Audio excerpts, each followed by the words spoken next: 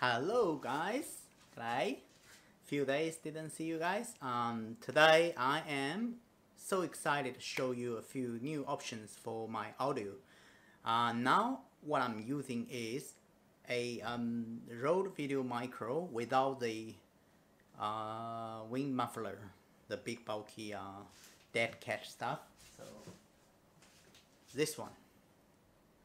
So I'm not using that, but I, am talking straight to the microphone and straight to um, the camera. So today I probably have to cut the video into pieces because I'm not switching audio gear. And also the gain settings not going to be the same. But all I want to do is to show you guys um, different microphone and different settings, how it affects the audio. Same room, same settings, uh, 1 50th of second, 16 mil f2.8 with Canon RP, uh, digital stabilize on, but no enhanced, and also manually setting the gain. At the moment, the gain is at about 35 to 40 percent. I'm using the video micro, uh, video micro on top of the camera uh, on the hot shoe. All right, so bear with me. Here are the microphone I'm gonna show you guys. I'll grab the equipment. First is this one, uh, the one I've used a couple of times. This is the, a dynamic mic from SE Electronics. It's actually an instrument version. It's called V7X, right? So what I found uh, a great test from a YouTube um, musician, uh, Anton, I can't remember his name, sorry. I'll put on the description below.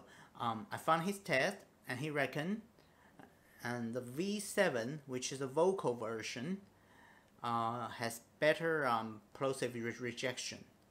It's better um, for um, spoken words application.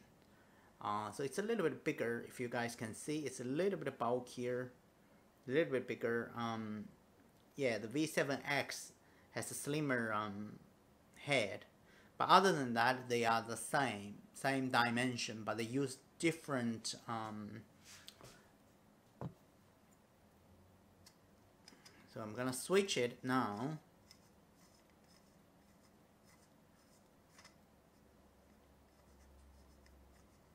It's quite long thread.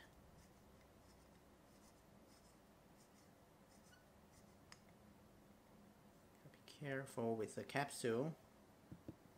So I'm gonna put the V7's bigger head into this capsule.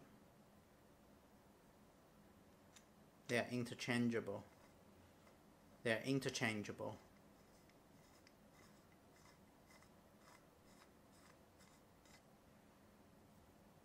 So this is the V7 version by using the V7X uh, capsule, which SE Electronics actually have a special edition of this configuration. It's called a a Myles Kennedy special edition. Unfortunately, in Australia, there's no retailer currently carrying that stock, and I've emailed three of the top sound and music sound and, and their distributor, and they say yes, we heard about this special edition with no idea when it's gonna come to Australia, no availability date whatsoever. So I have two options. I either can buy it from Canada, which one retailer can ship worldwide, one is buy from the US, uh, from the big Sweetwaters or um, B&H. However, the USPS has stopped a normal parcel shipping to Australia due to all these pandemic COVID restrictions, uh, which means I have to pay for at least an express shipping, which it cost. This thing in US cost 15 US dollars, the uh, V7 version, the, the metal grill. Um, to ship it here costs about 35 so all up, it's about 50 US dollars to get this piece. It's kind of not worth it. So what I did was I can't get the special edition. So I emailed SE Electronics. They're very responsive. They're very quick. Within one day, they arranged the Australia distributor to email me and call me and say, hey, we can send you this. the V7 grill to use on your V7X. That's what I did. Um, it still cost a pretty penny with the shipping and all that, but one day instead of weeks and weeks of waiting, I got the product. I actually got it for a few days. Today is the first time I opened the parcel. Been busy last few days. Alright, I'm gonna end this section of the video here and I'm gonna switch mic and change the gain and let you guys hear this mic with this grill. Bear with me. Hi guys, I just switched the mic. I'm gonna do some uh, post-processing to link all the videos together today. If I could do that, I haven't done that for a long time. Um, this is the mic V7. V7, it changes the sound inevitably when you change the metal grill it changes the sound, how the handling noise, how the handling noise. A, the capsule is supposed to be suspended, so it shouldn't transmit too much handling noise. How is the handling noise? I try not to talk directly to the mic because I know the plosive, the pizza pepper pepper pronto plosive, yeah. Hello. But I quite like this mic because the V7X capsule have really flat uh, frequency response and plus the V7 grill has really great uh, noise rejection and plosive rejection. So yeah, this is what I want to use indoor. This is what I want to use indoor. Yeah, you guys let me know. You guys let me know. What do you think? Um, I quite like it so far. I quite like it so far. And now I'm gonna introduce you another purchase I made shipped all the way from Europe, a north, north, northern European country, Scandinavian country. You guys might have guessed it's Sweden. And Roger from Line Audio, they make some very tiny condenser, small condenser, small diaphragm condenser. This is their new model, uh, not new, a few years old now. CM4. Look how small it is. Look how tiny it is. It's the same size as that video micro thing as a small diaphragm condenser with XLR input. XLR input. Small like this. Unbelievable. Unbelievably small. Right? Um that's with the included mount, right? So I'll leave it here. The IK Multimedia iPre 2 can supply uh, the Phantom 48 volts from the two AA batteries. So I'm gonna give it a test. It is said uh, the battery life aren't the greatest. Uh, let's see. I, I hope it lasts at least one or two recording sessions. So let's see how the audio compares. I I love this. I love this audio. Uh, I don't know the volume, but this now RP is only three notches from zero, and the gain at the iPre 2 at 8 out of 10. 8 out of 10. The best thing about the iPre 2 is they have the numbers on the dial, on the gain dial, so you know where you are at. And next time before you start recording, you don't have to do a lot of testing with your earphone. You just look at the number. Okay, 8 out of 10. Last time it was 8 out of 10. Yep, this time it's 8 out of 10. Bang on. Every interface, every preamp should have this. Have a number. How difficult is that? Have a number on the on the gain dial. Alright, so what I'm gonna do is I'm gonna use the same XLR cable, but change the gain settings again and see how it works with um, a small diaphragm condenser mic. Alright? I'll see you guys soon.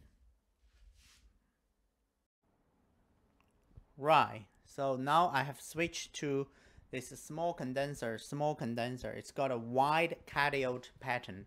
So I'm putting it about 6 inches away from my mouth, 6 inches away from my mouth. How is audio sound? The gain is at 6 on the iPre, iPre 2 uh, mic preamp, analog mic preamp with the phantom power on. And the um, RP settings is the same. So three notches from zero, the mic preamp. So the XLR cable goes into the iPre 2 and then from iPre 2 3.5 millimeter goes into Canon RP. So how is the audio sound? The condenser mic obviously gonna be more sensitive and pick up a lot of room noise. So I keep quiet. You guys have a listen.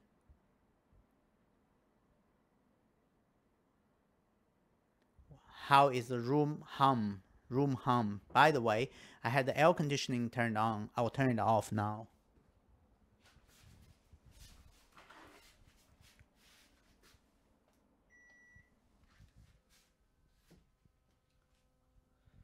how the sound compare, how the sound compared to the V7X.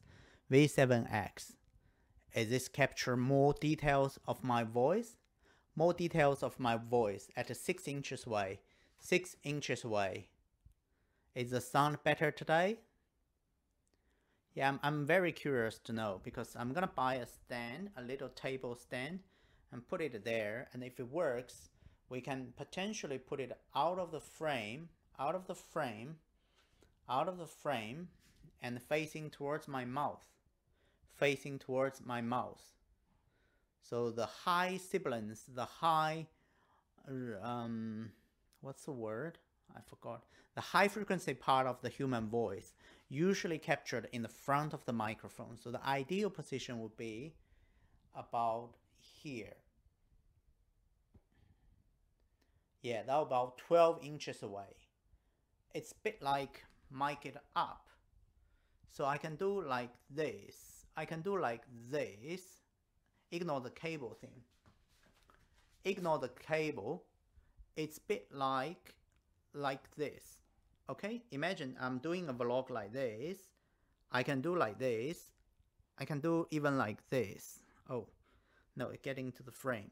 So I, I'll do like this and see how it goes, right? If it works, it might work for us, right? I can free up my hands and will still get great audio. I can free up my hands and get great audio with a little tiny pencil condenser microphone with included mount and everything. So that might be a great solution. I don't have to hold my um, V7X. Well, the V7X is great for vocal anyway, um, but I need to use up one of my hand. And this one, just imagine I'm not using my hand. I'm trying to not to get too disturbed. All right, this is actually only what uh, about about 30 less than 30 centimeter from my mouth less than 30 centimeter from my mouth.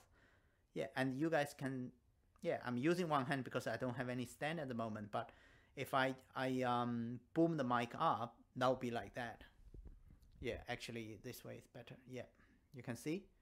Yeah it's actually uh, it might work. It might work.